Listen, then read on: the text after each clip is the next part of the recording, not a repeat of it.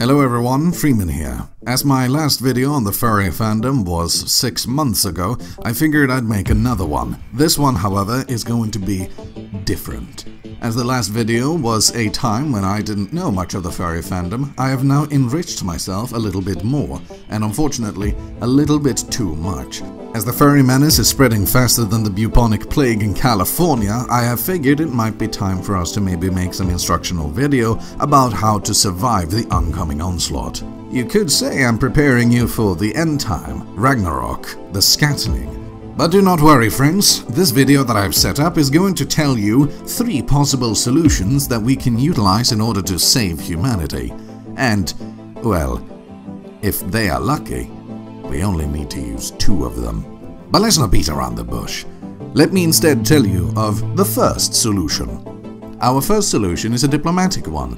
The first path to peace, after all, can be attained through words. As such, we are going to train special diplomats and translators to have them understand that we don't want them to shit on our cars, to not include our children and farm animals in their disgusting rituals. And lastly, set up an economic plan to ensure that they are not going to go bankrupt from buying mersuits and mersuit accessories. I know, their language is very hard to understand.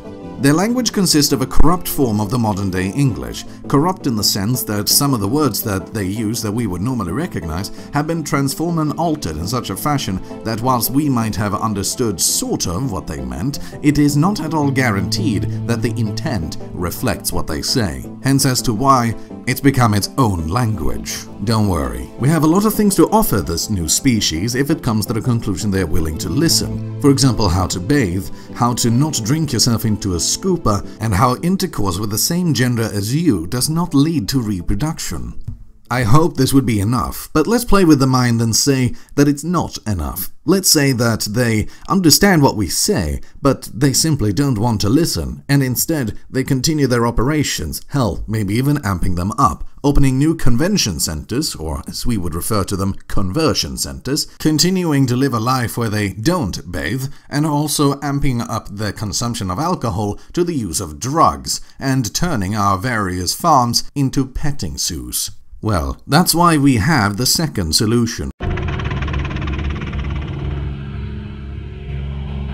Try and shout at them from afar make them realize what they are doing to themselves, that they are going to be their own doom. Essentially contain them in their various halls and conversion centers, but don't let anyone wander in. Let them destroy themselves. Because even they can't live on seminal fluids their entire life. Try to have the brave victims and experts to come forward and tell us about the insides of the cult, their various experiments upon each other, and also their shady dealings with the outside world. Report them to the SCP Foundation so they can come up with contingency plans. Have the Interspecies Alliance reported to the FBI. Have them exposed as a psychic cult. Uncover their secret operations currently taking place in Cuba, and for God's sake, do not abort the retort.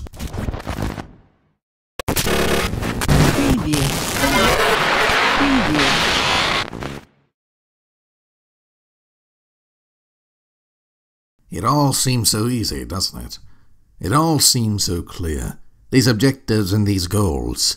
To try and have this all come down to some form of conclusion. To have them understand that their actions is not morally justifiable in a modern human society. To have them police themselves when bad shit happens. But no. It's far too late for that. They are far too corrupted. Ideology is taking place within their ranks when there never was one.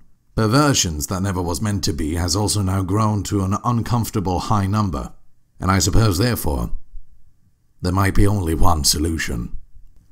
The final solution. And if they want to live as animals, then they will live underneath the yoke of the oldest law to nature. You're either prey or predator.